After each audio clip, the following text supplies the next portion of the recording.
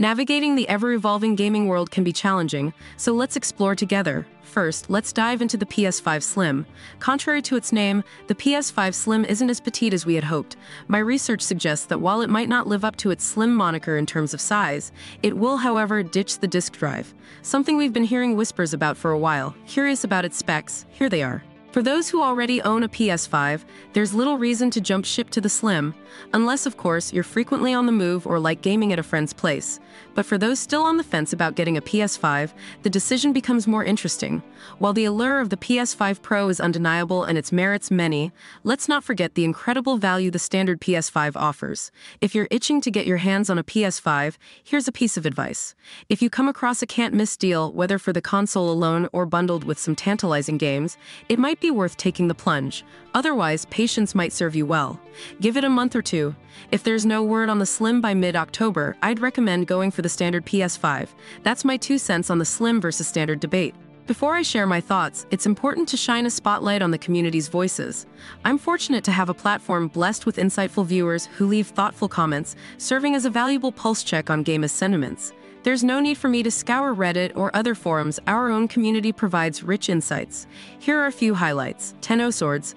I hate pros because they seem to penalize early adopters who aren't in a position to buy multiple consoles. The silver lining is that this could extend the generation's life. But I'm skeptical about the six year cycle. We didn't witness a significant generational leap this time around. It's a concern if we can't even achieve consistent 4K 60 FPS with the base model. As we go forward, justifying new consoles on such a cycle might be a tough sell. My response I get the frustrations. If you splurge on a PS5 in 2020 and then the Pro drops in November 2024, that's a four year gap. But imagine buying the PS5 in July 2024 only to see the Pro launch three months later. That's bound to sting. My take if I'm really gunning for the Pro, I'd auction my PS5 on eBay, toss in an extra $100, and voila. I'm the proud owner of a PS5 Pro. What do you think? Another key sentiment echoing in the community is the idea that there shouldn't be a pro model at all. Instead, some gamers believe there should be a singular, definitive edition. It's a valid point. After all, consistency can bring simplicity. But here's the reality we must grapple with technology is a rapidly advancing beast. Look at tech giants like Samsung and Apple. They roll out new phone models almost biannually. It's relentless, but it's also indicative of the tech world's pace. And here's a tidbit to chew on. The standard PS5, the one many of us know and love, has undergone revisions at least twice since its debut.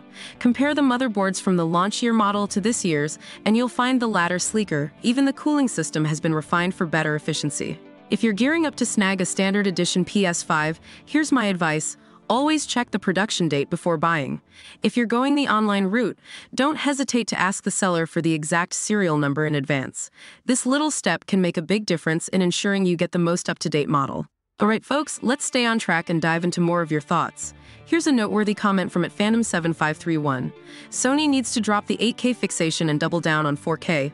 Better ray tracing, smoother performance at 60 FPS or more, and increased storage. The whole 8K buzz, it's overkill. Not many even have 8K TVs due to their steep price. And the leap from 4K to 8K, it's not as noticeable as the shift from 1080p or 1440p to 4K. You'd barely spot the difference unless someone pointed out it's 8K. Give me enhanced ray tracing and higher FPS over this 8K talk any day. Maybe save the 8K for the PS6, just my two cents. Also, it'd be great to see more game-themed plates and matching controllers, similar to what's up with the Spider-Man bundle. I've heard loads of folks wanting the same, so here's hoping Sony listens. Absolutely, at Phantom7531, I'm with you on this. The push for 8K seems a bit ahead of its time, especially when the majority of gamers are still immersed in the rich visuals of 4K. The difference between 8K and 4K is subtle to the human eye, and the true gaming magic lies in aspects like ray tracing, smooth frame rates, and enhanced gameplay experience. Moreover, themed plates and matching controllers are a great idea, they add a personal touch to our consoles. Here's hoping Sony pays heed to what the community really wants. Thanks for sharing your insights. Alright everyone, the big question, which one to get, but first, let's dive into the rumored specs for the PS5 Pro. Remember, these are just leaks and I can't guarantee their authenticity. So take it with a grain of salt. If these specs turn out to be true, though, I'll be the first in line, eager to grab one. Don't blame me if they change, I'm just sharing the latest buzz. Let's see what they've possibly got in store for us. Are impressive. 8 Zen 4 cores clocked up to 4.2 GHz, 72 RDNA, 3 compute units clocked up to 2.5 GHz, and 20 gigabytes of GDDR6X unified memory. Not to mention a 1.65 terabytes PCIe Gen 4 SSD. What does this mean in layman's terms? We're talking about more than double the raw GPU power at 23 teraflops, plus a larger and faster memory pool. To put things in perspective, the current PS5 has 8 Zen 2 cores and 36 RDNA 2 compute units, delivering 10.28 teraflops. So the PS5 Pro, or Trinity as it's being called, is set to be a significant upgrade. The rumor mill also suggests that game developers will start receiving Trinity development kits in November 2023, with the console hitting the shelves in November 2024. The price tag, a cool $599 per 549 pounds, which, considering the significant boost in performance, seems like a steal. Now I know what you're thinking this sounds too good to be true. But remember, Sony pulled off a similar feat with the PS4 Pro, which had more than double the GPU horsepower of the original PS4. Alright folks, let's so which one should you pick? Well, I'll let you make the final decision.